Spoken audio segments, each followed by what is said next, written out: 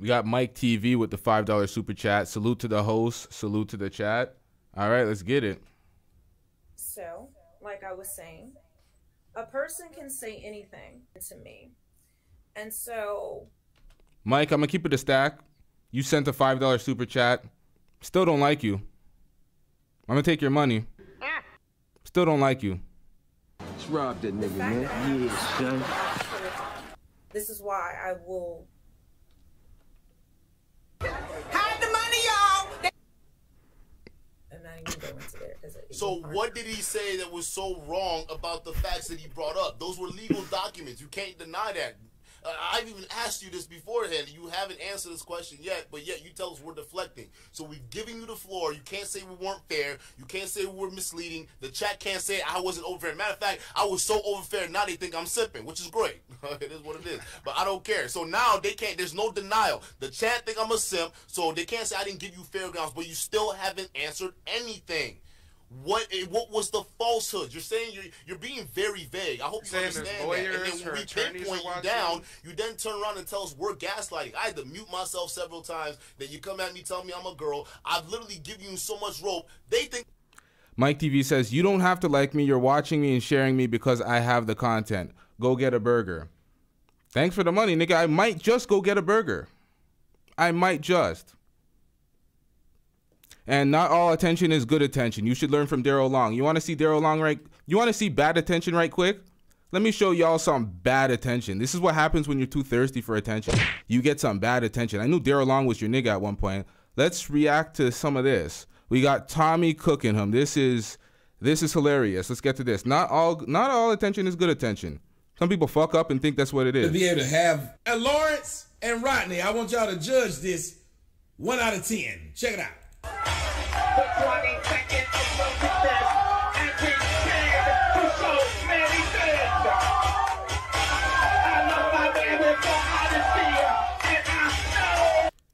My bad, y'all. I'm sorry, I did not give y'all the disclaimer. I just went right into it. Pause. I did not give y'all the disclaimer. Ladies and gentlemen,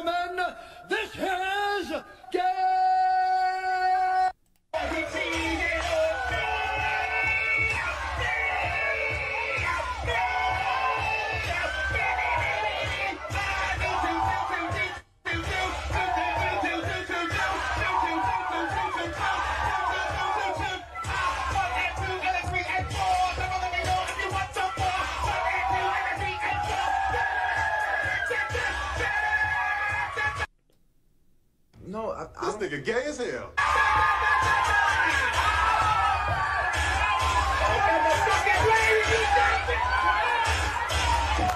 Now this is Mike TV's man's. This is his man's right here, Simp God. This is Daryl Long.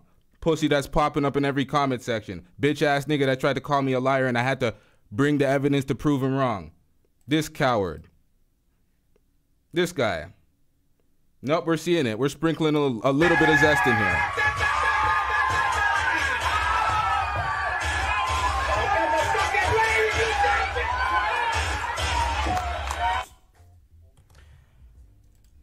Shout out to Tommy Sotomayor for that um that clip. Let's get back into it. So answer. What what what is it? You can't Nah, see, Mike's the type of person that digs up lives and tries to expose people that he has no issue with for random reasons. So, Mike, let's try that. If you don't like LTTV, let's try that.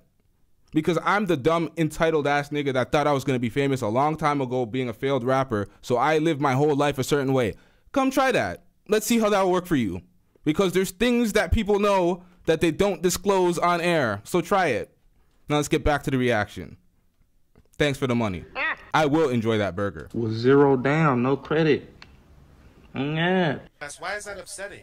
It's only upsetting is if it's bringing something to light that she didn't want the general public to know. She did not. E Black already exposed. Uh, you said expensed, but I guess you meant exposed Mike TV. E Black has receipts on a lot of people too. Y'all gotta understand. I don't fuck with Mike TV off of principle. He's done nothing to me. It's strictly off of principle. I will always make those decisions. When I see a person that I do not fuck with and I see their principles don't align in any type of way, I'm like, yeah, I'm out. It is what it is. You'll be excluded. You'll be in the chat dropping super chats. I ain't gonna bring you up for no clout. You're not gonna be in a, on a, on a StreamYards panel. You could do that on your channel. You got more subs. So have at it. Anyone can say anything. And That's why you fucked up, Melanie. Anyone could say anything. That's why I played that Stephen A. Smith clip in the beginning, because everybody can just get on the internet and run their mouth. And y'all give them validity, credibility by even having a discussion with them. documented. He was in Yanni's chat, super chatting her, trying to convince all the women in the chat that, oh, I don't usually speak to women like that. I don't usually. He sent a bunch of super chats. I seen him in Yanni's chat trying to convince the, all the women. So when he says, oh, he's for the people, he is for pleasing the audience. He will just hop on any wave and try to expose people that somebody doesn't like because he knows that he can get the haters of other people. It is what it is, man. Baby Rose says Mike has been on her for years. She's finally giving him the attention he wants. He's and he's so wound up like a high school girl about to fight. Yikes. But she fucked up. Ultimately, she fucked up. She has to hold her L in that regard. She's had a tough week. She should have never called into any of these streams. She should have just left it alone. But, you know, it is what it is. Let's get into it.